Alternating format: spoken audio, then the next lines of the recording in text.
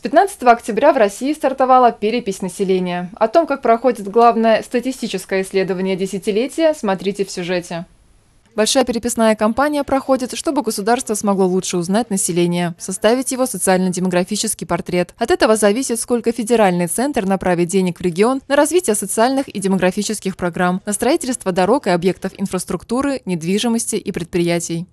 Важно помнить, документы для участия в переписи не требуются. Переписные листы заполняются исключительно со слов респондента, что подтверждать документально не требуется. Персональные данные респондента никуда не распространяются. Все собираемые данные обезличены, то есть возможность установить связь между ними и а, конкретным респондентом, конечно же, отсутствует. Данные собираются исключительно в интересах статистики. Переписаться можно несколькими способами. Дождаться переписчика дома или самому прийти на стационарный участок, а далее ответить на ряд стандартных вопросов.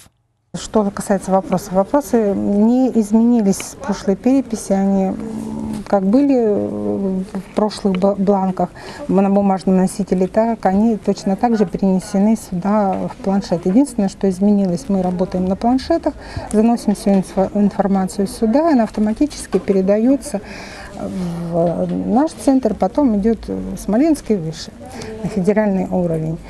Особенность этой переписи – возможность пройти ее дистанционно через сайт госуслуг. Компьютер с доступом есть и на стационарных пунктах. Здесь вам помогут волонтеры. Уверенным пользователям гаджетов можно заполнить анкету дома. Ксения Ложкова, Юлия Соболева, Александр Ерофеев, Десна ТВ.